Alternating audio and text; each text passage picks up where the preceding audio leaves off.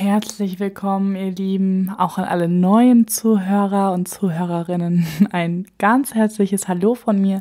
Ich bin die Annabelle und ihr seid hier in meinem Podcast Bindung von Anfang an.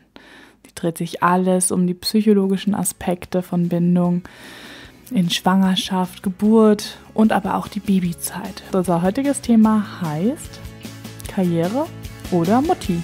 Für was hast du dich entschieden? Viel Spaß dabei!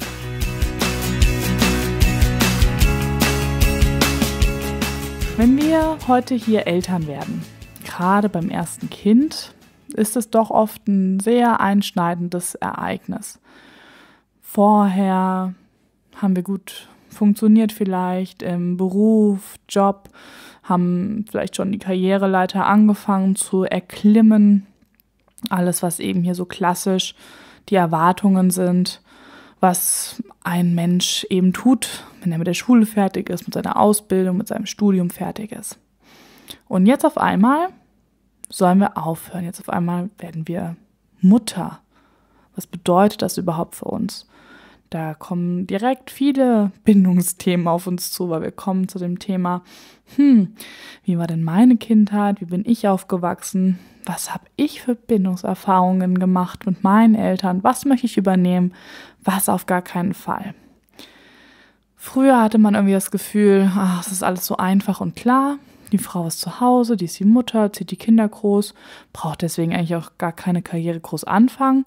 Und der Mann, der muss natürlich das Geld nach Hause bringen. Heute ist es alles ein bisschen anders. Die Rollen sind einfach nicht mehr klar verteilt. Die Ansprüche an eine Frau und einen Mann haben sich total, ja, vielleicht aneinander angepasst, verändert. Also die Frau soll möglichst beides sein, die perfekte Mutter, aber auch die Karrierefrau, der Mann ebenso, der soll das Geld nach Hause bringen, aber er soll auch zur Hälfte den Haushalt und zur Hälfte die Kindererziehung übernehmen. Und das sind natürlich äh, maximale Ansprüche und solche Ansprüche, die wir ja gar nicht bedienen können. Also wenn wir versuchen, da alle glücklich zu machen, werden wir das nicht schaffen. Weil geben wir unsere Kinder im, im ersten Lebensjahr ab in die Kita, dann sind wir die Rabenmütter, die sich nicht kümmern. Bleiben wir aber zu Hause, bis die Kinder drei oder vier Jahre alt sind oder vielleicht sogar noch länger, dann sind wir die Gluckenmütter, die sich nicht lösen können. Und deswegen stelle ich diese Frage einfach so provokant in den Raum. Was bist du denn? Bist du die Karrierefrau oder bist du die Mutti? Und warum ist das eine mehr wert als das andere? Warum ist überhaupt ein Mensch, der arbeiten geht, mehr wert als im Falle der, der Mutter eine Frau, die zu Hause ist und sich um den Haushalt und die Kinder kümmert? Ist doch etwas verrückt. Und gerade wenn wir dabei den Selbstwert anschauen, also wann, woraus generiere ich meinen Selbstwert?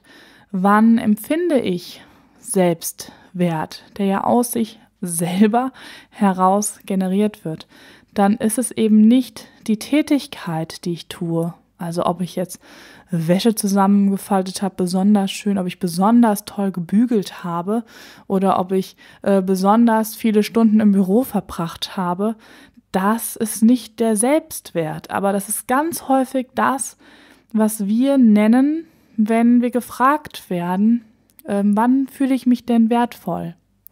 Dann ist das eben, ja, wenn der Chef mir eine Gehaltserhöhung gibt oder mich lobt für meine Arbeit, wenn vielleicht mein Mann anerkennt, oh, wie toll ich das gebügelt habe oder wie lecker mein Essen schmeckt. Aber im Grunde werde ich ja nicht als Mensch, ich als Mensch dabei bewertet, sondern einfach meine, meine Fähigkeit als gute Köchin oder eben als gute Bürofrau oder was auch immer mein Beruf ist die Tätigkeit, die ich tue, die wird bewertet, nicht ich als Mensch. Und wenn wir uns davon lösen, dann ist es auch viel einfacher, die Entscheidung zu treffen. Weil wenn ich meinen Selbstwert aus mir heraus, aus mir als Mensch ziehe, dann muss ich den nicht mehr im Außen suchen. Dann muss ich den nicht darin suchen, dass ich die perfekte Mutter bin, immer den selbstgebackenen Kuchen dabei habe, bei jedem Fest an vorderster Front dabei bin um gesehen zu werden, um bewundert zu werden, sondern dann kann ich ganz mein Ding machen. Und das ist doch das, was wir uns alle wünschen, dass wir ganz unser Ding machen können, da, wo wir uns wohlfühlen und dass das für andere einfach in Ordnung ist. Das heißt nicht, dass andere das alles verstehen müssen, was wir da machen. Dass andere verstehen müssen, warum ich gerne bei meinen Kindern bin, warum ich gerne viele Kinder vielleicht habe, warum ich gerne nur ein Kind habe oder oder. Das muss niemand anders verstehen. Aber diese Akzeptanz wäre doch schön.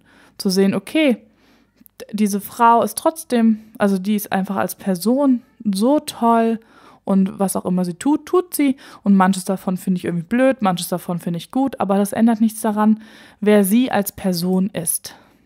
Und das müssen wir Frauen uns manchmal einfach noch zurückgewinnen, weil wir fühlen uns sonst so zerrissen.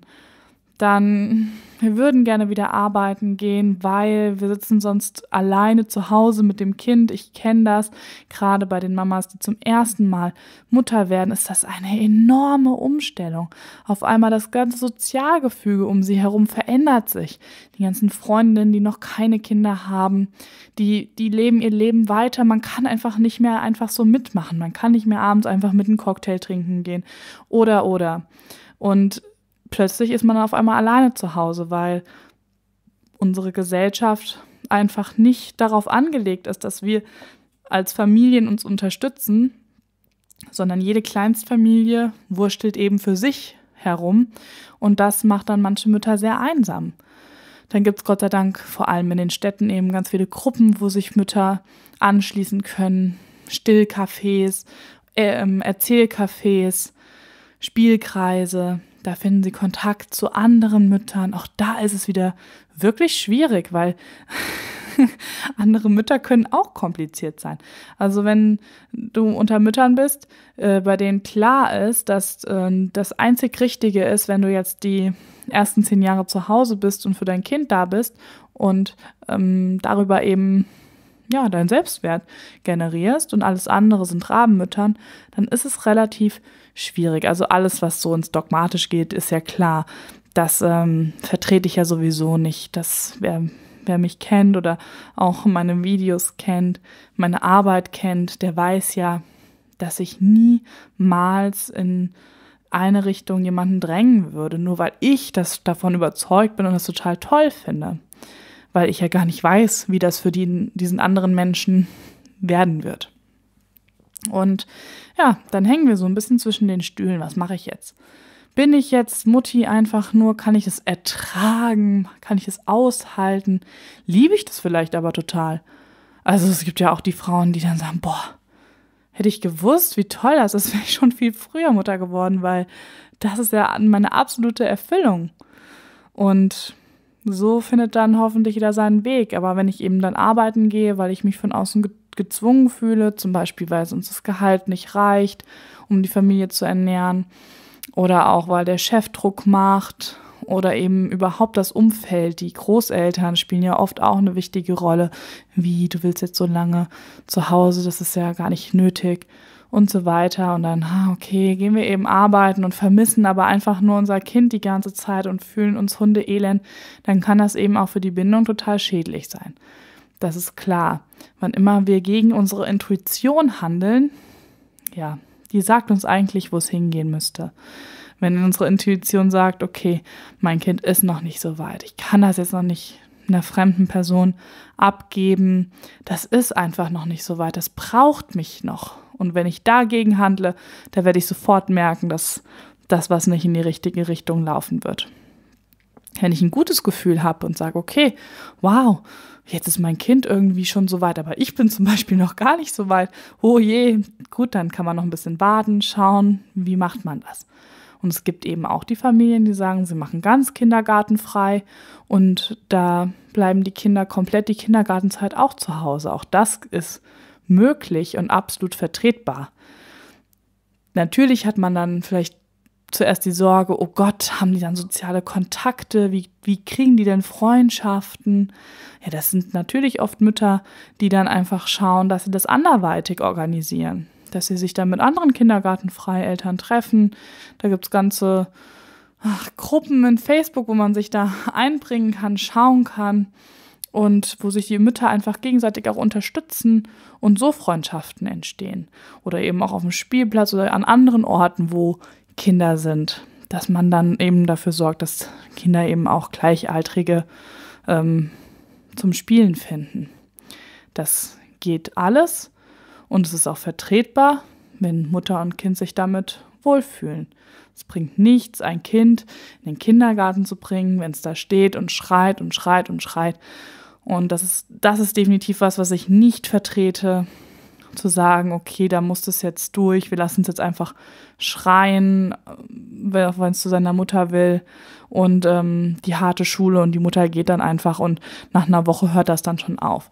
Also da kann ich euch prophezeien, dass euer Kind sich dann in anderer Weise wieder versucht, diese Sicherheit und diese Nähe zu holen. Und wenn es das dann eben ist, dass es jede Nacht ins Bett kommt, weil es Albträume hat oder oder. Und das sind eben Erfahrungen, die man manchmal mit dem ersten Kind macht, wo man merkt, okay, das hat nicht funktioniert, beim nächsten machen wir es anders. Und wo man am besten immer auf seine Intuition hören muss und dann danach entscheiden kann. Und wenn man da sorgfältig ist, wenn man da wirklich hinhört, auf seine Kinder hört, auf sich hört, dann findet man oft eine Lösung. Also für uns war auch klar, okay, also hier einfach so in klassischen Plastikspielzeug-Kindergarten, das, das geht für uns irgendwie nicht. Wir sind doch sehr naturnah, wir leben sehr naturnah, so mitten im Wald und konnten uns dann gar nicht vorstellen, dass wir unsere Kinder wohin geben, wo das so gar nicht vertreten ist.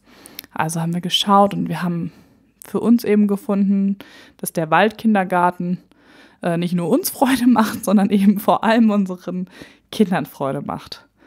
Und haben da auch auf den guten Moment gewartet, wo wir das Gefühl hatten, okay, jetzt, jetzt können die Kinder dahin gehen, jetzt fühlen die sich sicher genug. Und wir mussten keinen einen Tag Eingewöhnung mit unseren Kindern machen. Die waren aber eben dann auch schon drei und unser ältester, unser Herzenssohn war schon vier, dem haben wir einfach noch ein Jahr länger bei uns gegeben, weil es ja kein leibliches Kind ist und wir gesagt haben, gut, der soll erstmal bei uns richtig stabil ankommen und der war auf ein Frühchen, also braucht manchmal auch einfach einen Schritt länger und das ist auch nicht schlimm. Gerade in der ersten Zeit ist es einfach wichtig, das zu geben, darauf einzugehen und das machen wir ja ähm, auch aus professioneller beruflicher Sicht so. Und deswegen war das für uns kein Thema. Aber wir arbeiten eben auch ja, sehr speziell. Wir sind beide selbstständig, wir arbeiten von zu Hause aus. Wir können da ganz anders drauf eingehen. Es ist mir völlig klar, dass das im klassischen Berufsmodell oft nicht so einfach umsetzbar ist und dass man da immer wieder schauen muss, wie kann ich das unterkriegen. Die Bedürfnisse meines Kindes, meine Bedürfnisse, die Bedürfnisse der gesamten Familie. Und das ist manchmal eben ein Drahtseilakt. Und da ist mein Tipp, hör einfach auf deine Intuition und frag dich mal, wann bist du wertvoll? Warum solltest du weniger wertvoll sein, wenn du nicht die große Karriere machst? Warum ist jemand wertvoll, der irgendein bestimmtes berufliches ähm, Ziel erzielt hat? Im Grunde spiegelt das nur wieder, dass er einfach eine gute Performance, eine gute Arbeit abgeliefert hat, irgendwie gut ist in, in einer bestimmten Tätigkeit, aber das bist du ja auch. Und von daher, ja, haben wir da ein bisschen verquertes Wertesystem. Und da sollten wir immer gut hinschauen, was vermitteln wir auch unseren Kindern? Was ist denn das Rollenbild, das Frauenbild, das Männerbild? ähm, wann ist ein Mann ein Mann, wann ist eine Frau eine Frau. Das, das ähm, ist ja auch was, was wir unseren Kindern vorleben. Wir sind ja Vorbilder. Und deswegen lohnt es sich noch mehr da in sich hineinzuspüren und da einen Frieden mit sich zu finden und einen Weg für sich zu finden, mit dem man sich wohlfühlt und mit dem sich eben auch das Kind wohlfühlt, damit eben diese Mutter-Kind-Bindung nicht dann durch einen blöden Kindergarten-Eingewöhnung über drei Monate irgendwie gestört wird. Das wäre einfach, hm, ich sag mal, das ist es nicht wert.